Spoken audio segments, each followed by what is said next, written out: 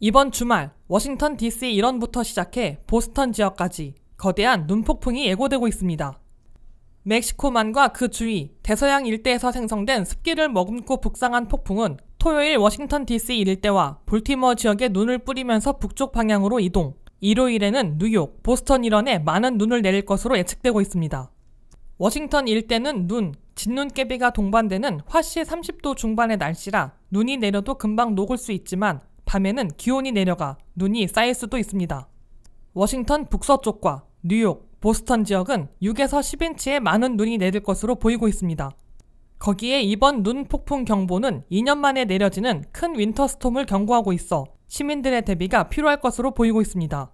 워싱턴 DC 지역에서는 작년 0.4인치에 불과한 적설량을 보였지만 엘리뇨 현상으로 이번 겨울에는 적설량이 큰 눈 폭풍 등이 내릴 가능성이 높아져 평년보다 따뜻한 기온과 다습한 날씨, 많은 눈이라는 혼란스러운 날씨를 보여준다고 NOAA 국립해양 및 대기관리국은 밝혔습니다.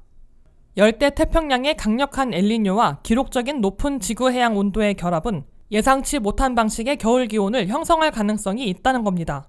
미국의 엘리뇨 겨울은 제트기류로 나눠지는 경향이 있는데 다습한 날씨를 바탕으로 제트기류의 남쪽 분지인 캘리포니아 중부부터 플로리다까지는 평균 이상의 강수량을 가져오고 제트기류의 북쪽 분지는 차가운 북극 공기를 가져와 폭설의 가능성을 보여줍니다. 엘리뇨의 다습함은 겨울 강수량을 늘리는데 얼마나 춥느냐에 따라 다습한 날씨는 폭설로도 폭우로도 바뀔 수 있습니다.